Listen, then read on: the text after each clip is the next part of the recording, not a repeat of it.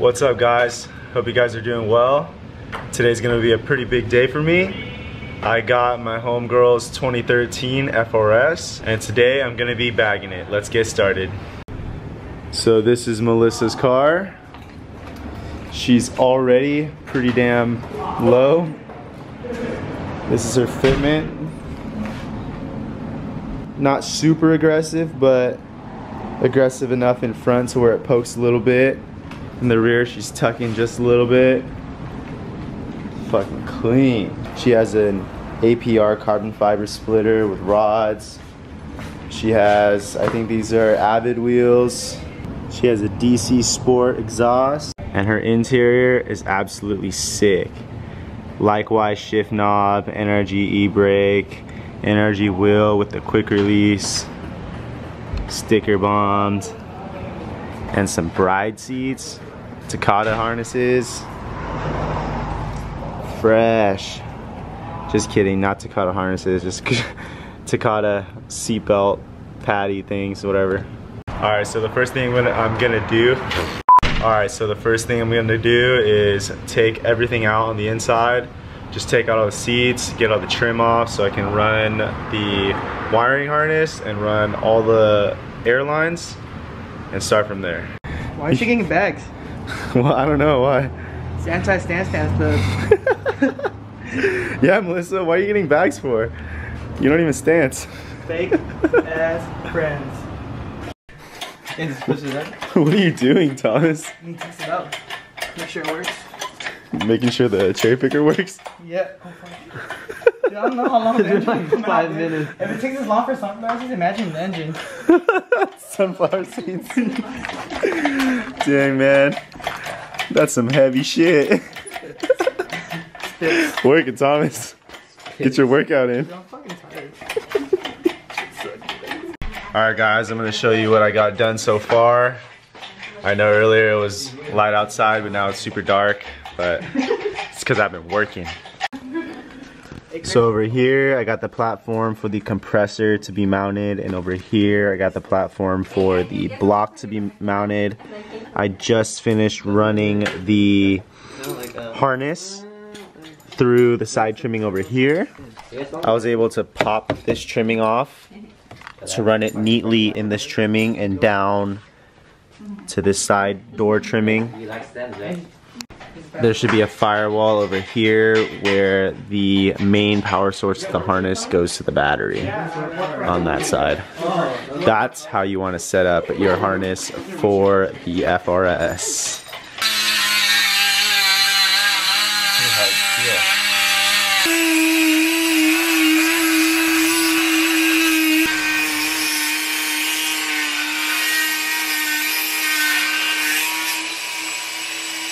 What's up guys? New day, new fit as you can see. Uh, I'm gonna show you guys what I've got done so far. Alright, so I got the compressor and the management block mounted down into the trunk so it won't move. It's pretty solid, ain't going nowhere. And then I got the trunk mounted right up here. This as well is also very solid. It's not going anywhere, no wiggles. So the next step is to jack up the car and take the wheels off so I can figure out how I'm gonna route the airlines and height sensor lines. Let's get it. Look who showed up. What's up, Thomas? What's up? Nice hair. What's up, bruh? What's up? How you feeling from last night? Dude, I drink Tella, dude. I'm Yeah.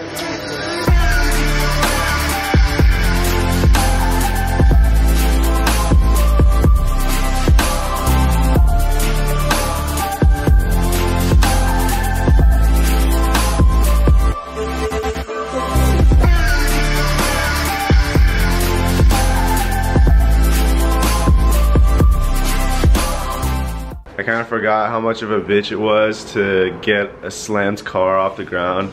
I don't miss it. Bags is the way to go when you're trying to work on your car. Fuck that shit. Damn. Got my boy Thomas Putting some film on my taillights for fun. If, if you if you go close enough, if you go really close, you can see there are hella bubbles. Okay, I did. I did. Hey. I did with my fingers. Hey, that's what hey, that's what happens when it's free, you know? hey, was that your heat gun? Do it again. Before heat gun. and after. Yeah, dude. So you know how Thomas get get his haircut? He get a bowl, he put it on his head, and he just cut what, whatever is left over. All right, so I got the airline, ran through the inside of the car, through this firewall right here, and I got it. It comes out of here, and it just tucks right into the trim on the side, and back on the back of this trim. When you pop this off, it should take you all the way back to the trunk. Got the airline ran behind this trim and to the management block. I feel like that's the cleanest way to do it, where all the airlines and wires are tucked away and out of sight. Damn, so I just shotgunned a Red Bull with my boy Randy and Andrew. Never done that before, but fuck, it's hitting me. Don't recommend doing that one, but it was fun. So I just finished routing all the lines. It's a fucking mess in here, but it's okay. I'm gonna clean it all up once I, everything's connected. So unfortunately, Royal Brass is closed, so I can't buy the right fittings to connect the water trap. I'm also missing a couple fittings to fit in the tank to the water trap to the compressor, so that's gonna be a project for tomorrow when I can go pick up the parts. Since I can't get the system fully up and running, I'm just gonna start on the struts get the struts fully mounted on the car and then mount the height sensors. That's like the next hardest part. So if I get that done by today, I'm gonna get everything prepped so that tomorrow when I get the right fittings, we'll just start airing out. I'm gonna be installing the rears now. This is how they look. It's a sleeve bag. Here are the leader lines. And in here we have the spanner wrench with either 3 8 OD or quarter inch OD fittings. Because Melissa has a 3 8 valve block and 3 8 line, we're gonna go ahead and use the 3 8 fittings. Here are Melissa's BCBR coilovers. I'm gonna go ahead and take that out and put these bad boys in. Let's do it. All right guys, so the rears are off. Literally three bolts. It's not that difficult to remove them. And here's the comparison side by side. We got the bags and the coils. The rear bags are in. Very easy. Just that 17 millimeter bolt right there. And two 14 millimeters up top. And it's out. There it is. Alright guys, I'm not sure if you guys have had the privilege of seeing these in person, but this just looks fucking clean. Airlift strut or airlift bag strut. This is some good quality shit. Alright guys, here's both the bags side by side. You're gonna get a dual bellow bag. I think that's what it's called. I'm not sure. And these uh, type of bags in front. The rears are sleeves, as I showed you earlier. Camber plated. I'm pretty sure you get a, a decent amount of camber from these top top hats, but you can invest in some aftermarket top hats that'll give you up to minus seven degrees. So, but you know, for a factory top hat, it's pretty good. Look at that travel. It's a good amount. It's clean.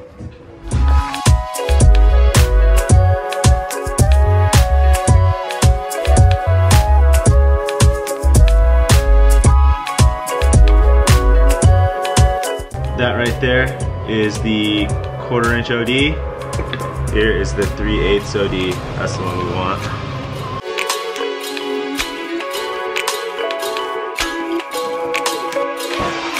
Here we are.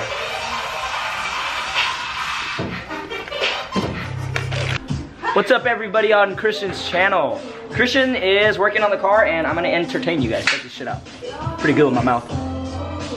Mm, one, two, three. I'm gonna hit the garage. Ah, ah, ah, ah. Never mind, three. That ends it here. Bye, guys. The front bags are in. It was pretty chill to install. I mounted the leader line over here. I left a bit of sag so that when it airs down, it can kind of still push this up. And when it airs up, it still has some slack to come back down. So I thought that was a really good way to set it up. Here I still gotta cut the air line and connect it. I ended up using the stock end links because it was a bitch to remove so just disconnected it here and put it on here and it was perfect. Next all there is to do is install the height sensors. So in the back everything was a breeze to install. Got the leader line connected over here as well as right here held with the same bracket I used in the front I have 3 8 line coming from the vent in the trunk which is about right here right there where the light is shining so the vent so the line goes through the vent and comes around to the other side in here and comes out right there I hope that helps. Here, so you guys can see the vent. It's right by the quarter panel of the back. Right there, I have the height sensor line. I'm sorry, I have the height sensor wire and the 3 8 air line going in there. So all I have left to do tonight is get the height sensors installed and tomorrow I'm gonna go to Royal Brass to get the right fittings for the tank. Once I get that done, we're gonna fire up the compressor and get the struts calibrated. Sorry, get the car calibrated and we're gonna air out tomorrow. What are your thoughts, babe? Yes. Oh.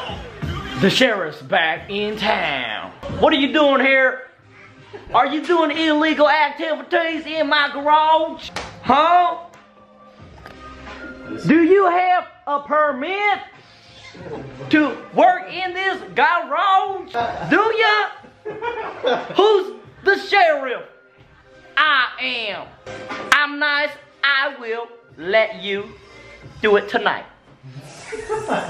We out. What's up guys? So the car is done. I got the height sensors mounted and the system running. All the wires are tucked away. I'm about to put on the wheels to get the system calibrated. But before I put on the wheels, I would like to show you guys how and where I mounted the sensors. I know every car is different, FRSs are different, SUKs are different when it comes to mounting height sensors and overall install in general. I know I don't have a lot of footage for this video. It's a little difficult to work on a car with a deadline and turn on the camera and start vlogging. But I did manage to scrap up this much footage for you guys. I hope it's enough and I hope it's helpful. I'm working on it. I think once I get more videos under my belt, I'll get the hang of working on the car and showing the highlights on camera. So the rears are installed. I mounted the height sensor right about here and I connected a bracket onto the lower mount of the strut. Uh, the reason why I put a bracket, I chose to put a bracket there is because that almost mimics the travel that's going on with the strut. So if the strut is traveling like say more or less three to four inches, then I'm gonna get three to four inches of travel on the height sensor. So that was kind of my logic and thinking behind it. I'm hoping everything works out in terms of calibration, but yeah, that's my work. And for the fronts, I decided to mount the height sensor to the sway bar. I did that because it follows the movement of the strut itself. So if the strut's moving four inches, the height sensor is gonna be moving four inches. So I felt like this was gonna be the most accurate setup. have the leader line connected up to here and the height sensor wire coming up through there.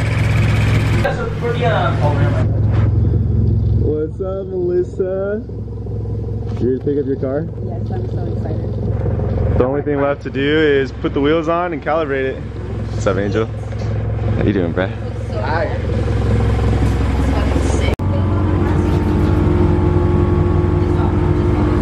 Check it out.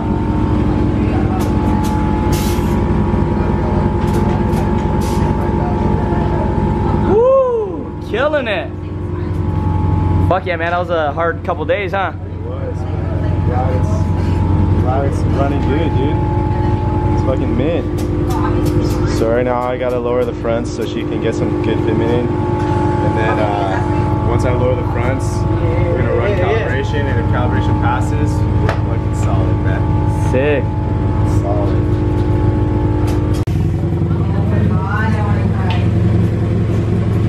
Woo!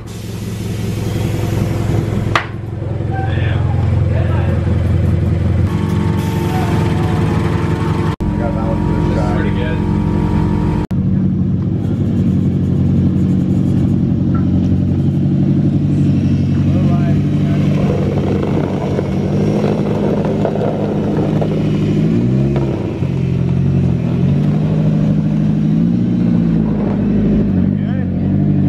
Slam live.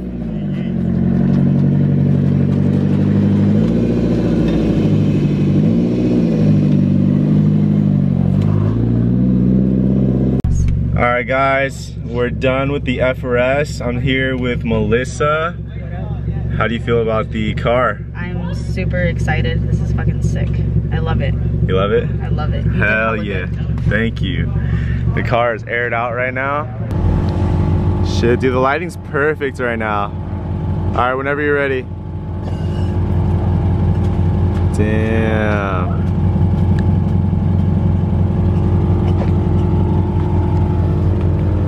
fucking clean. You're out, Melissa? Woo. All right.